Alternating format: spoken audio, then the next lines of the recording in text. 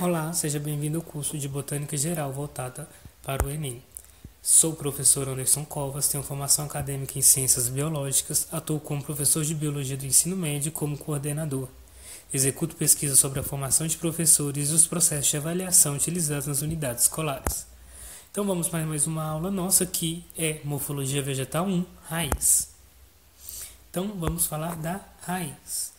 A principal função da raiz é a absorção de nutrientes, minerais, sendo que no solo também é responsável pela fixação dos vegetais ao substrato. E temos vários tipos de raízes. Então vamos lá conhecer? A raiz é o órgão da planta que normalmente se encontra abaixo da superfície do solo.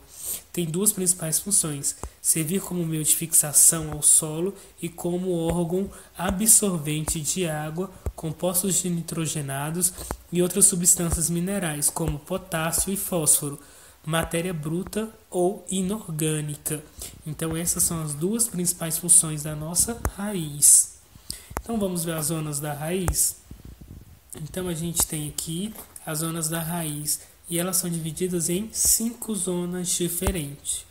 A primeira zona, conforme a gente observa na imagem, é denominada de coifa. Em forma de capuz, protege a zona meristemática contra o atrito e o ataque de micro-organismos, formado por células mortas, a coifa.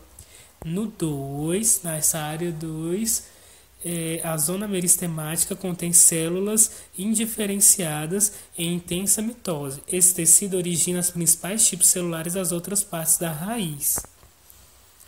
Na terceira zona, ou também denominado de zona de alagamento, conforme a gente observa a imagem, as células originadas na zona meristemática sofrem enlagação, ou seja, crescimento. Na zona 4, conforme a gente observa na imagem também, é denominada de zona pelífera, que contém pelos absorventes, que é prolongamentos celulares, responsável pela mai maior parte de absorção de água e sais minerais da raiz. Na zona 5, conforme a gente observa na imagem, é denominado de zona de ramificação. Em dicotiledôneas, formas chamadas raízes laterais. Observem a imagem. E aí ocorre nítido crescimento em espessura dessa raiz. Então vamos ver os tipos de raízes, porque além daquelas duas funções principais, alguns tipos de raízes, no entanto, também desempenham outras funções. Então, a principal função da raiz é a absorção de nutrientes minerais, sendo que no solo ela também é responsável pela fixação do vegetal ao substrato. E elas realizam outros tipos de funções, e essas outras funções a gente denomina de raiz tuberosas, raízes respiratórias ou pneumatóforos, raízes suportes, raízes aéreas e raízes sugadoras.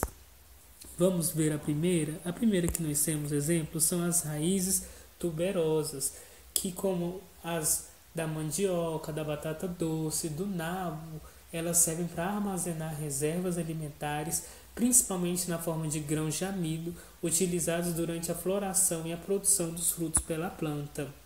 Os agricultores colhem essas raízes antes da planta ter a chance de consumir as reservas armazenadas, utilizando na alimentação humana e de vários animais. A outra são as raízes respiratórias ou pneumatóforos. São adaptações e a realização de trocas gasosas. Então, essas raízes são adaptáveis a realizar essas trocas gasosas com o ambiente. Esse tipo de raiz é encontrado em plantas como as Avinca tomentosa, que vive no solo encharcado e pobre em gás oxigênio nos manguezais. As raízes principais dessas plantas crescem rente à superfície do solo e no espaço em espaço apresenta pneumatóforos que crescem para cima perpendicularmente ao solo. Durante a maré vazante, os pneumatóforos ficam expostos e pode realizar trocas de gases com ar, conforme a gente observa nas imagens.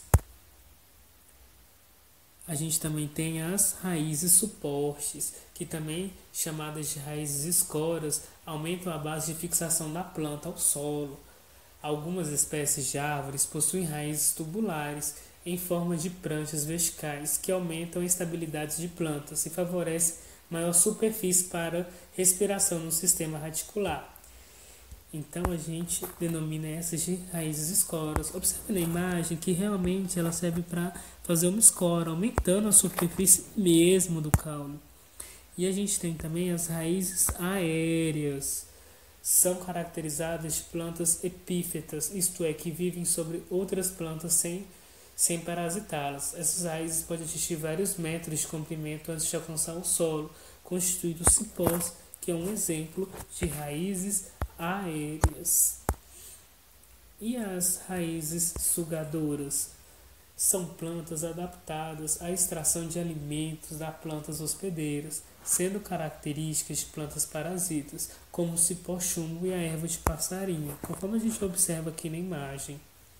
As raízes sugadoras possuem um órgão de fixação chamado aprensório, no qual prendem finas projeções denominadas austórios, conforme a gente observa aqui esses austórios. Esses austórios eles penetram na planta hospedeira até atingir os vasos condutores de seiva, de onde extraem água e nutrientes, de que a planta parasita necessita para sobreviver. No caso de a planta ser hemiparasita, o exemplo é a erva de passarinho Somente ela só suga a seiva bruta, que, que é transmitida pelos vasos lenhosos do xileme retirados da planta hospedeira. Então, essas raízes sugadoras possuem esse sistema de austórios, que ele penetra, conforme a gente observa aqui, ele penetra nas plantas hospedeiras até atingir realmente os vasos condutores de seiva e pegar todos aqueles nutrientes que as plantas precisam. Então, esses são as características das outros tipos de raízes, que são as raízes que realizam outras funções a não ser aquelas que a gente conhece como fixação e absorção de nutrientes. Então, obrigado por assistir mais essa aula minha. Estou te aguardando para a nossa próxima aula. Até lá!